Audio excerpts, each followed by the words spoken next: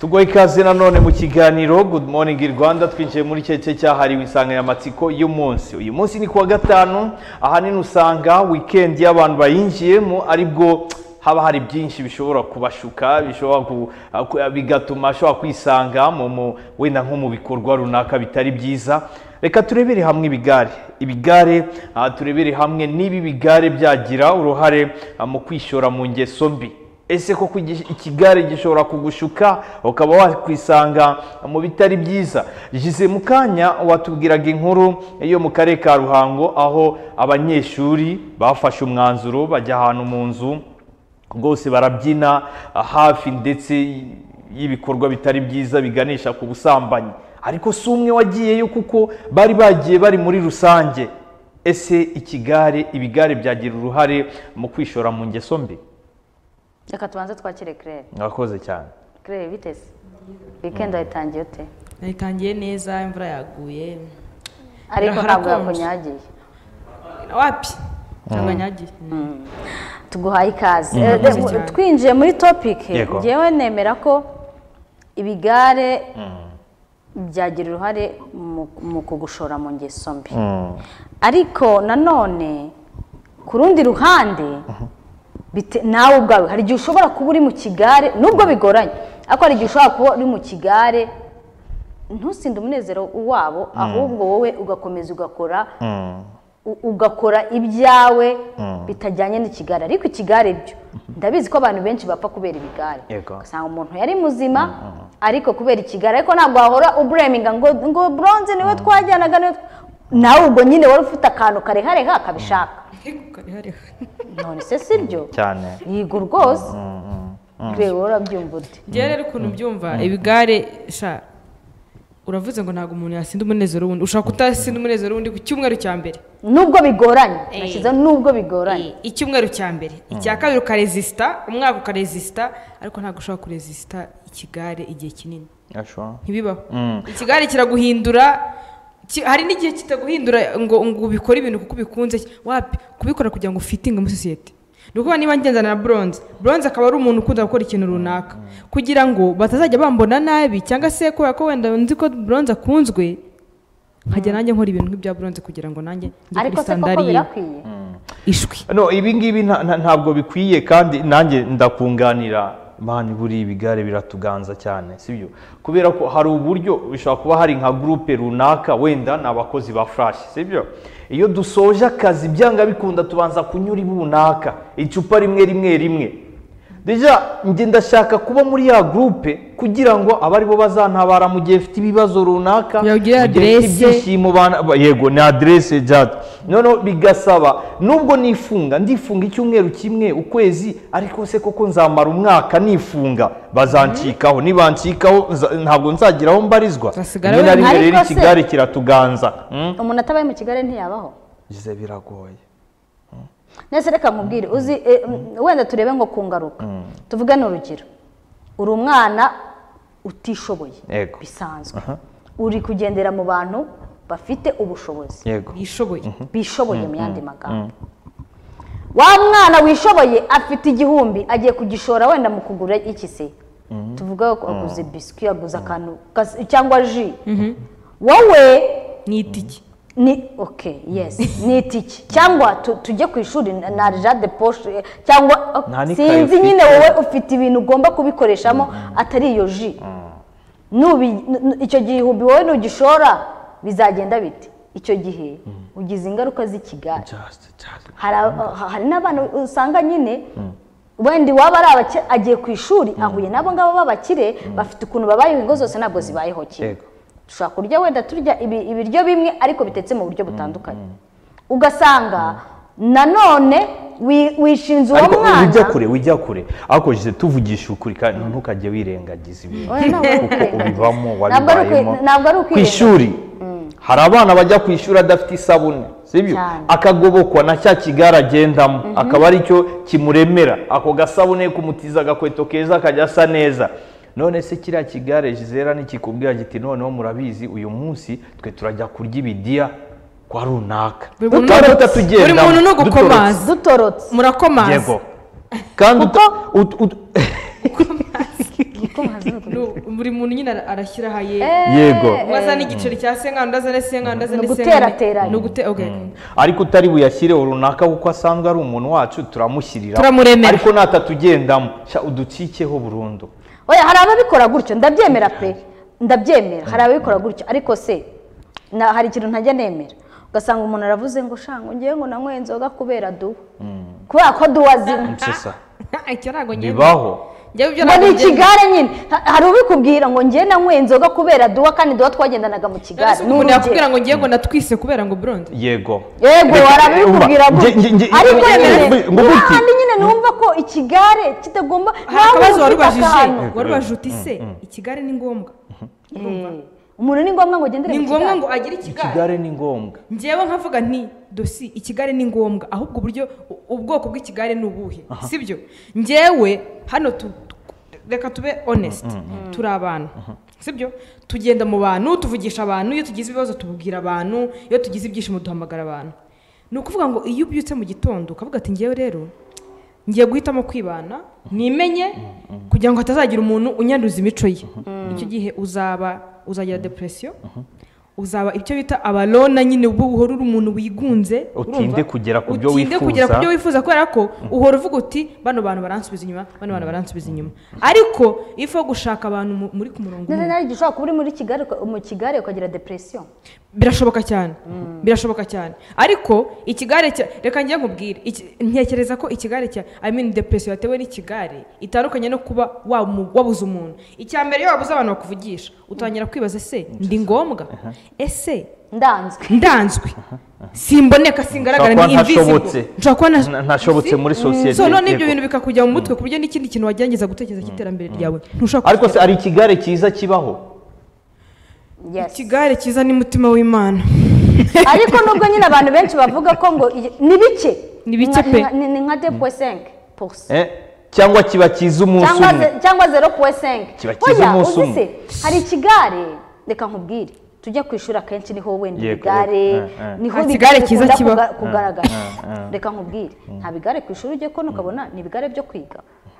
Nyine icyo ntabwo ari ikigare oya ni ikigare ni nyine ikigare niyo cyo mpamvu kiraba cyiza uyu munsi ariko ejo kibe kibi ikigare ikigare buriya abantu benshi bazi ko nyine ikigare ni Ako- ukujya gusohoka twatwitse. uri kumva ikigare. Uzi n'impamvu bacyita ikigare? Ni uko hako ni Ni ni agatsiko, eh, ni Ni agatsiko buntu k'abantu. Urumva, Runaka. runaka bakora ibintu runaka bakabikorera hamwe. Abo bantu runaka biza ahantu hamwe Yego. bari kwi- ba- ba- ba- ba- ba- bakoze gurupe nyine yo kuzajya biga gusa. Kwiga gusa? yes. Ntabwo bishoboka. nyuma y'amasomo turibeta. nyuma y'amasomo turibeta. Noneho wowe utari mu kigare utahe sibyo? Nituba twicaye hariya turimo kuganira. Duwo wagiye atari mu kigare turaza gusigara tumuvugaho tumwibazeho esike kubera iki twigana na duwa? kubera iki iyo tugiye hano hantu atatwivanaho ntabwo muri ku nta kigare ibigare kibaho cyo kwiga. babitwariramo inda ibigare bibaho byo kwiga. N'ibigare byo gutegura ubukwe bibaho. Gusa Eh. ubukwe si- si si umuhango w'imana se kiba cyiza uyu munsi ejo kikaba kibi. ariko ubundi ikigare ikigare mu busanzwe iyo uvuze umuntu ngo ikigare iyo ubwiye umuntu ikigare ahita yumva twanyweye twanyweye twasinze twaye kandi ibigare si n'urubyiruko ku- gusa kuko hari n'abasaza abasaza barahari Ahubwo ibigare by'abasaza bakibera mu nzoga gusa ahubwo ni byo biteye ubwoba. Cya kigare cyo cyo ntabwo ya- makipe yakina bakambwa arangiza akajya Yego. byeri. Kandi ariya makipe buriya. Ba- banabwirana ibyiza umwe abwira mugenzi we uburyo gushaka undi mugore ikindi cyane runaka. Oya icyo gihe akana karaza akavuga ati wabonye ako ubundi urabura iki? Hari akandi gashuti ke biriya. Eh, naguha pasi naguha pasi Biriya nzi biriya ugasanga byo muri ibyo bintu. biriya byo birenze birenze ibyo ingimbi n'abana. Iby'uru rubyiruko ariko se ibi bi- ibi bikaritasi biri gutuma twisanga mu buzima bwacu buri mu kaga. Ibi bigare ishize reka mbahereze mu masegonda make cyane mbabwire uburyo nari ngiye kwisanga mu mutego w'ikigare ndi mu wa gatanu mu wa kane mu wa gatanu. Nageze muri segonderi ndabasuhuje abo twiganaga abasore batanu twishyira hamwe mm, ku gakweto keza ka parufe keza. Mbese guhagarara saa yine twagomba guhagarara ahantu hacu hihariye. Kandi buri wese ahanze ijisho. Haca abakobwa. Ah, eh, ubwo urabyumva nawe. Iyo twajyaga muri sare urabona ku wa gatanu habaga hari agafilime ku mugoroba twebwe twubakaga inzu yacu muri sare sibyo za ntebe za purasitike zasigaye tukubaka icyumba cyacu cy'abantu biyubashye. ziriya ubundi babyita gute? Ngo niba gute? ngo ngo niba ngo nararushinze niba ngo twararagize gute? Urumva? sinjya nibuka yambaye Njye nasigaraga. Tukubaka muri icyumba cyacu muri sare ahantu animateri atagera umuntu utugeramo aha urabyumva. Utugeramo agomba kuba nawe kameme ari ku rwego rwacu. Uko byaje kugenda rero. Byaje kuva muri ubwo bwibone tujya noneho bamwe bajya no gutekera itabi. Batangira ku- kuyoboka ibijyanye no kunywa itabi. Tugomba kwiga twanyoye itabi. Birafasha bituma umuntu yiga agatsinda. Hanyuma we wakoraga iki muri njye rero uko nabigenzaga natangiye kujya mbacu kujya mbacungira animateri na, anima- na prefe dezeti Umutekano. Nkaguma ku rugi rwa dushe bakajyamo bakimeza neza batangira saa kugenda bancika. Uyu ni babilone. Hmm? Babylone. utubahiriza Ari na byacu. wowe ujya guhagarara ku muryango abandi Birangira- barimo baha naje kubacikaho burundu ariko byangizeho ingaruka. Kuko nabihiwe n'ubuzima. Yishwe da Turebe nagendagamo. rwa rukweto rwiza nambaraga eh, twajyanishije. Ufite sisa narayigize. Natangiye kumva mbihiwe. Saa yine ntabwo ndi muri cya kigare. Ntangiye kugendana n'abavirajo abaturage batajyanye n'urwego narindiho muri icyo kigare wumvaga ufite ndi ku confidence ya rwego runaka of course sibyo? Refegitwari uhita dufite ahantu twebwe tudashobora no kujya kurira mu, mu, kabase. Twe ari utundaza ari amatariki ari icyo ngicyo. Noneho sasa ntangira kubona ibyo bari kujyamo. Njye bihabanye nanjye niko natangiye kubicikaho ariko biranderanja muri njye. No kwiga nkumva sindyohewe cyari ikigare cy'abahanga. ariko icyaje kubaho ubu aka kanya njye ndi kuri televiziyo bagenzi banjye bamwe bagize ba- bamwe barafunzwe. Urumva nyine ntabwo abandi babyaye batarageza igihe. byakugezeho ingaruka nta na absence wagize kuko ibyo bintu byari ngombwa kugira ngo ugere hano. Kuko iyo uza ku- kunywa ibyo bintu ntabwo ubu ngubu uri hano. hari ariko imbaraga ye. reka twumve point ya abduru yavuze ati igihe nari ndi mu kigare. Nari ndyohewe. Nari numvaga ndi mfite confidence ntabwo nakoraga nk'ibyawe ariko numvaga mfite confidence byonyine kuba ugendana nabo Ah, kuba abantu babonana muri kumwe hari groupe a- avantage utibarizwamo. mwajyaga mugira mu kigo abandi batagira Yego. hanyuma mumaze gutandukana. Nabaye njyenyine. Ntangira kugenda noneho hari njyenyine. abantu bahita bajya muri iyo muri iyo stage. Agahita noneho avuga ati you know what? Ndi kumisinga ibintu byinshi. Agahita noneho yishakira za nzira zo kumusubiza mu bindi Cyane. noneho bibi. kwemera noneho. Ni ukuvuga ngo ikintu umuntu agomba gutekereza agomba gutekereza ko niba ikigare cyanjye nyi- nyiretse kubera umutima buriya baravuga ngo ujye wumvira umutimanama wawe.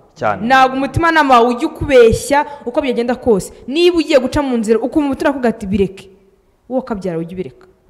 Ni ukuvuga Eh, niba niba bronze yara- yaravuze ati you know what? Ndumva ndi out." bihabanye ko bihabanye nanjye. reka mbyihorere. Ariko nyuma akaza gusanga hari akantu yatakaje. Ariko nta nyine akaguma muri iyo nzira. Niyo mpamvu yicaye hano. C'est ça. reka nkubwire. Yego yego. Hari uh, ku ishuri mbere yuko twakira na telefone ku ishuri uh, ha- hari abana twize kugendana. Noneho ukajya kubona ukabona bari kugenda bat- batoroka batoroka. Noneho perefe de zetide araza ngo dusi wowe ngo nawe ugiye kuzajya utoroka ngo ibiki n'ibiki? Ndabona ndavuga ariko se reka nkubwire imyaka ingahe maze hano? Ubu ni bwo naba nize gutoroka. Ntabwo najya gukora ngo ni uko kanaka yatorotse.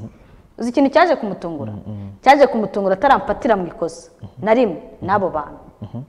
Ariko tugenda- bagendamo. Kandi tugenda.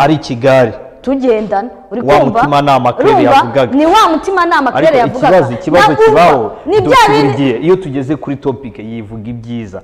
Oya, nta na rimwe ntabwo ari- Ese niba nabibagira? ugira gutya cyangwa gutya? Duwa, ni cyo kibazo ntitwajyanye ku- hano twigaga niba niba ariko nkubwire ibintu ari kuvuga ngenda reka nkubwire. Abantu bari kundeba none aha twiganye muri lise. Yego. amafaranga yacu baze kuyazana. Aha nari mfite gurupe nagenderagamo Yego. sibyo? Eh. bari abana bigaga bataha njye nigaga mbamo. Kandi kwiga tubamo twabaga tumeze nk'imfungwa tumeze nk'abantu bari muri gereza.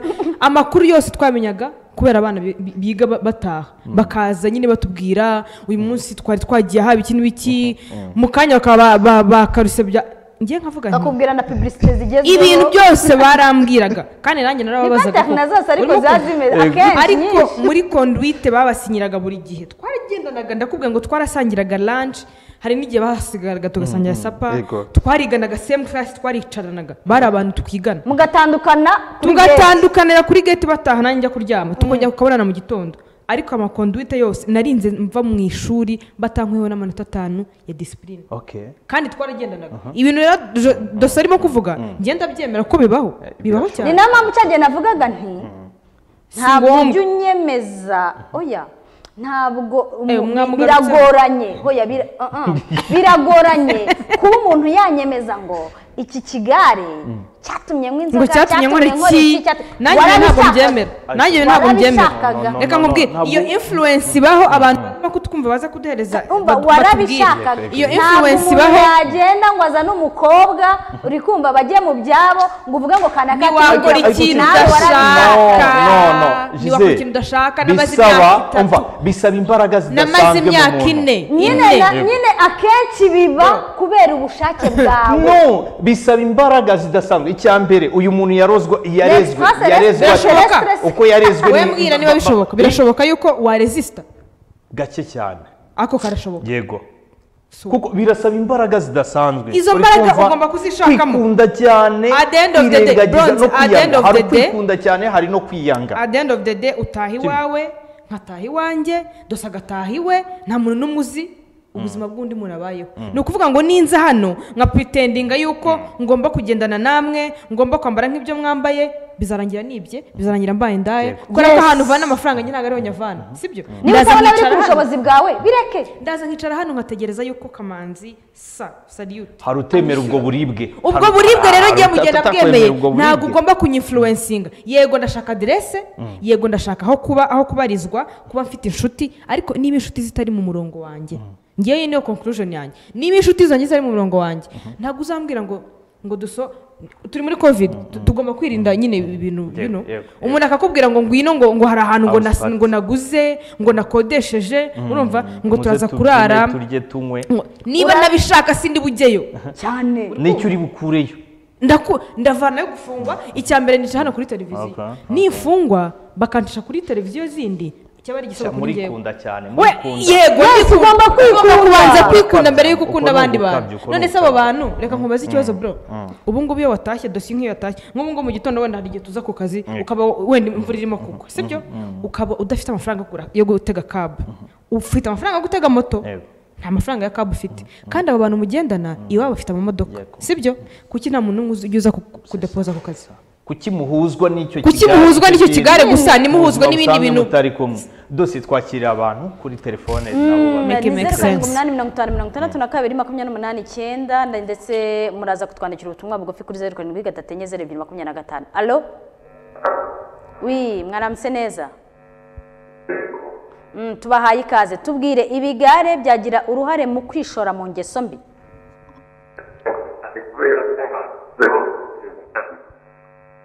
Alo biterwa ngo biterwa yawe ubyivuriwe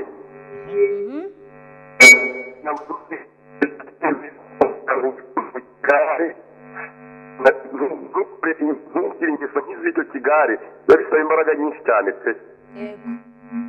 Eh, igitekerezo cyanjye cyari icyo ngicyo nanjye ni uko mbyumva nk'uko abatura byumva murakoze cyane. Yes bisaba imbaraga ariko nanone ni ka kantu ntabwo ngewe waza kumbwira ngo ibi bintu wabikoze kubera kirere nawe uragera ukabona ni ngombwa. Ariko nta nta mukobwa urakubwira ko sheri yamusabye kado y'umwana? Ibyo se hari bitewe n'uburyo amukunda bitewe n'iki? Ibyo bikarangira barabivuga cyane. Abasore bose bafite uburibwe. ni icyo ngicyo bavuga. Yigeze yitekerezaho. Umukobwa ingaruka ziri ku musore. Ndetse niba none za mbaraga zo kwakira ibintu. Ubu iki kintu ngiye gukora ndabigenza ne? No Hari ikintu bita cyane. Eh. Akiri uwo muntu twikoresha ndumva ibintu uri halo yego mwaramutse neza. Yego tugwaye ikaze turi kuganiraho n'ubundi nawe waba ufite ako gatima yego rata. Nta muntu wabwira ngo umuntu yakujyanye mu bi- ni byo rwose n'ibibazo impamvu wivugishwa nuko nta kigare wigeze wisanga oya hari umuntu usa utisanga mu kigare bibaho atubwira icyo yigeze arokoka ikomereze ratakiriya twibwirire. None tuba ngo bigenze bite se? Netiwaka iranze. Yego. Yego. Na ubuse abafite umugenzi n'abafite direct bazishyiraho yego alo wari utubwiye? ufite? nari nkubwiye ni abasore bagendana bafite direct cyangwa undi musatsi we ko atawushyiraho yegora subiza. Yego ndakumva. Nuko nta mumaro biriya bibya yes none. Nta kamaro ariko uzi ari umuntu usanzwe ufitiye runini. Ari umenyera buri kimwe. Uriya musatsi nawushyiraho da? Ubwo rero urumva ko kugenda mu byo nawe washakaga. Yego rata. ngewe turemeranya turemeranya. Ikigare reba reba tujye muri bya bigare bya bakina bakanga Yego. Bavuyeyo bagiye kunywa akabyeri sibyo uri kumva? Ubonye mugenzi wawe agize gute wenda?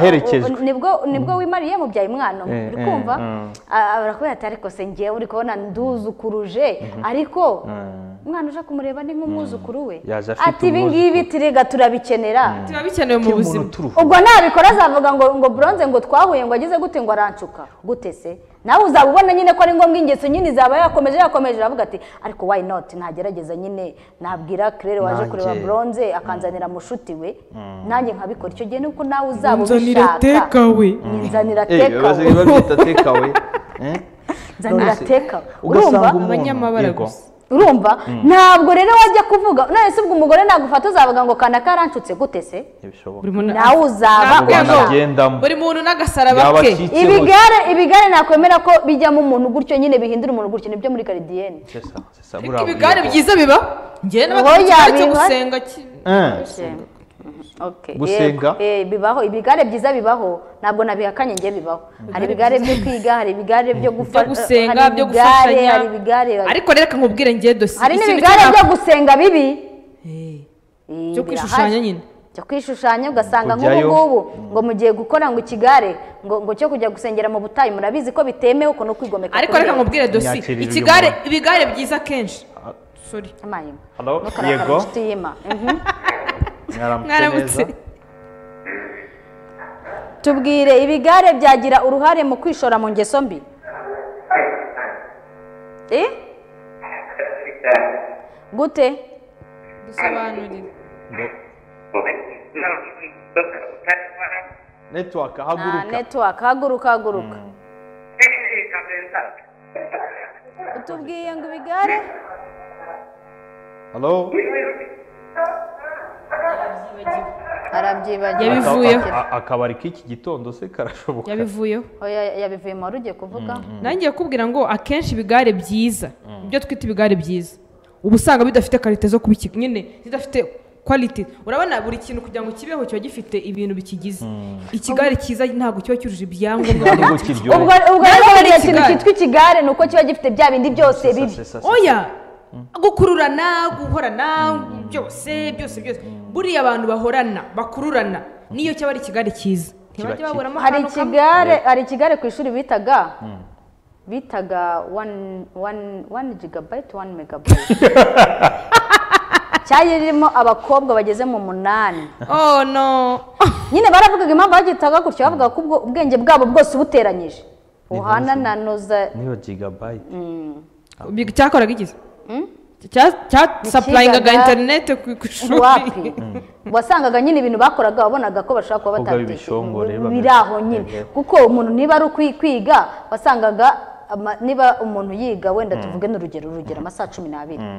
Ubwo atatu niyo baga andi yose bagiye kwisobanura kwa prefe waratorotse wagize ute wasigaye muri doro Oh, gutyo gutyo gutyo gutyo. Ninde uri kuhira jaride nibo ninde uri guhinga? ninde uri gupanga ariko amatafari ujya mu gihano. utinya ibaza umuntu uhanwa bagenzi be bakaza kumufasha gukora igihano.